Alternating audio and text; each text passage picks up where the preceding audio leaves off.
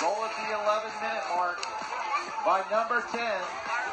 That's one. That's two. That's number three hat trick for Ruben